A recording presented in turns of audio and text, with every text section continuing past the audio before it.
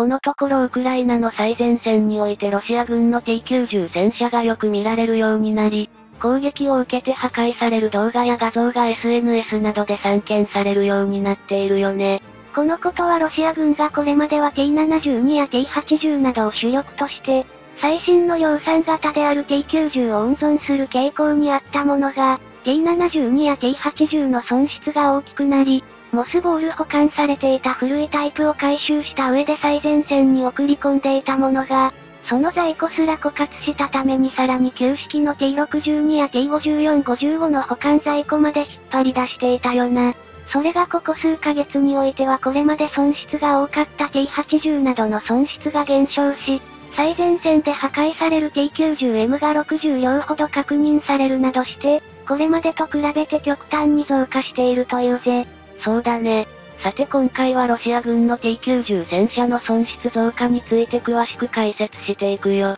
それじゃあ行ってみよう。ゆっくりしていってね。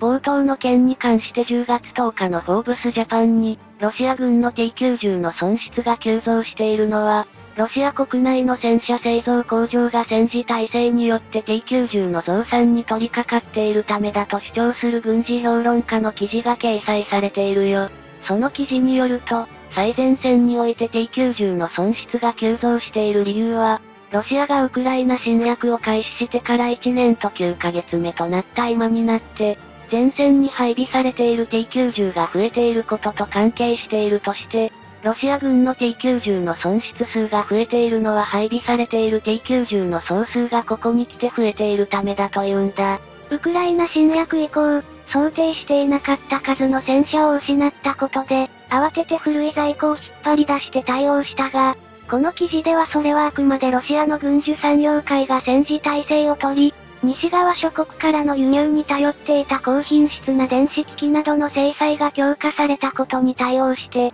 代替品を増産できるようになる間の応急処置であるとしているな。さらに記事では、ロシアはこの2年ほど戦車の生産を増やす動きを見せていて、その取り組みが実を結びつつあり、西側諸国の制裁対象の一つであるフランス製工学機器については、国産の機器開発が進み代替品が登場しているとして、国内における戦車生産に支障がなくなったことを指摘したぜ。そして、これまでは現行の現役戦車である T72B3M と T90M を製造する工場がスベルドロフスク州のウラルバゴンザボード工場だけで、このウラルバゴンザボード工場ではウクライナが提供されているドイツ製のレオパルト2や、イギリス製のチャレンジャー2にアメリカ製の M1 エイブラムスなどの西側諸国製の新型戦車の総数に匹敵するとされる T90M を、わずか6ヶ月の期間で製造することができるとされ、それに加えて現在では、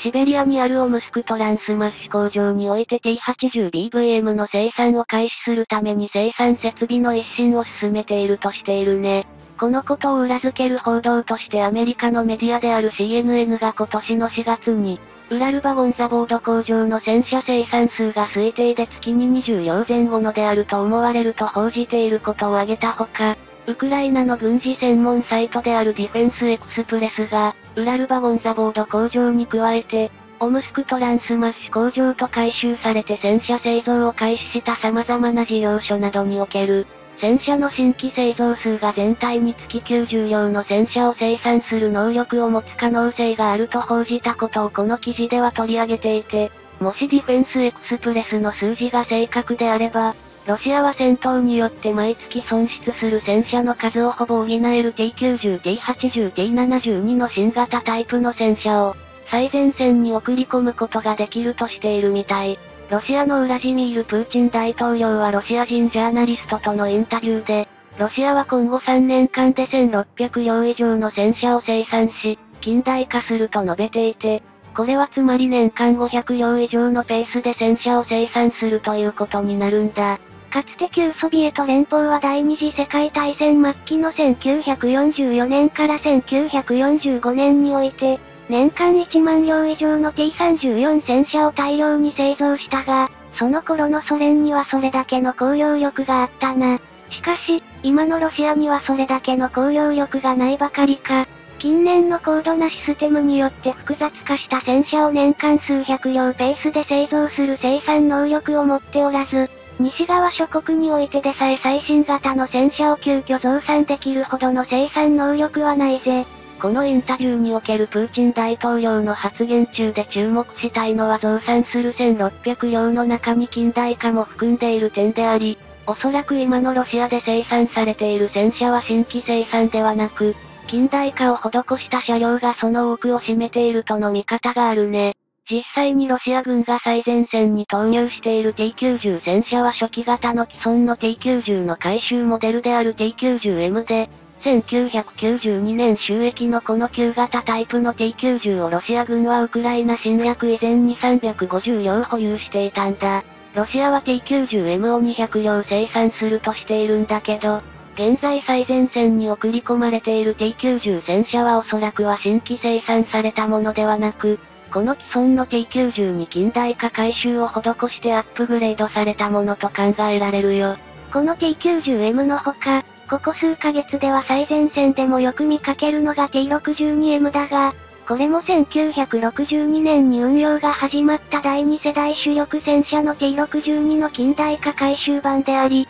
その多くが倉庫で眠っていたモスボール保管された車両で、ロシア軍では3年がかりで800両の T62 を T62MV に近代化するとしていることなどからして、プーチンがインタビューで語った今後3年で生産される1600両のうち、少なくとも1000両は現在保有している保管在庫含む戦車の近代化ということになり、フォーブスジャパンの記事にあるようにロシアの戦車生産能力が向上しているという主張は怪しいな。さらにロシア軍は1950年代に収益した T54-55 戦車をやはり保管倉庫から引っ張り出し、移送する様子が確認されていて、こちらも近代化した上で戦線に投入されるものと推測されており、これもプーチン大統領が語った新しく生産する戦車の中に入るとするならば、残りの600両もまたそのほとんどが既存戦車の近代化と思われると指摘する声が上がっているぜ。このように考えるならば、